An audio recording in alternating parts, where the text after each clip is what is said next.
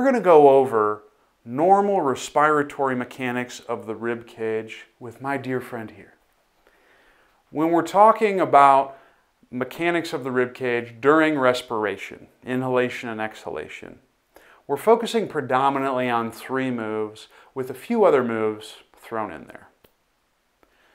Generally, every time you inhale, the rib cage ought to expand in all directions. As you exhale, the rib cage ought to compress in all directions. Let's unpack that and see what that looks like. The first movement that is very important is the bucket handle movement.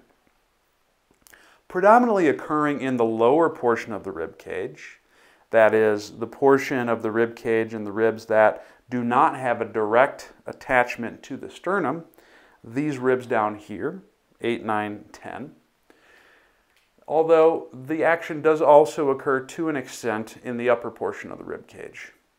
But with the bucket handle action, what's going to occur is the ribs are going to move laterally and superiorly, or they're going to move outward from the body and upward.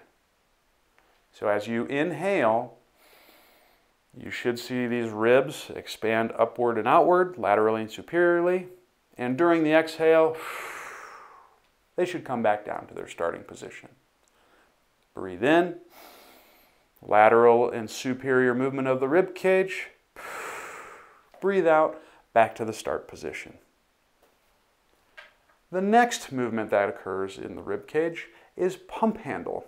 That occurs predominantly on the anterior aspect of the rib cage in the upper ribs and involves movement of the sternum. From the side, when you breathe in, the pump handle action is anterior, forward, and superior, upward movement of the rib cage. So as my man here breathes in, if my hand was the sternum, the sternum and the ribs would move in that direction. Anterior, forward, and superior, upward. As this man breathes out,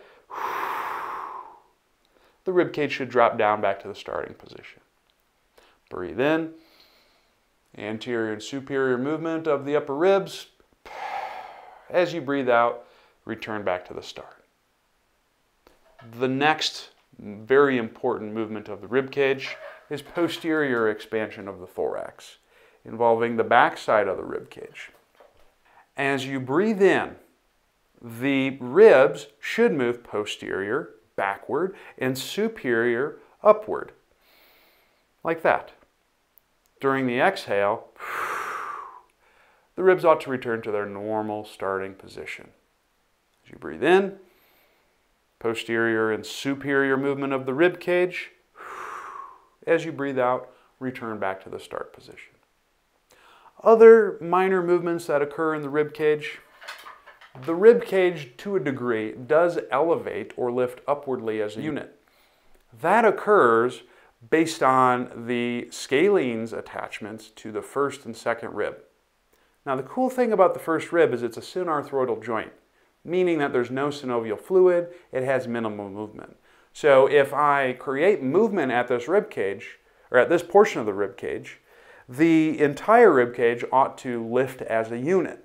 Because if I lift this, and this joint can't move on its own, everything's got to go with.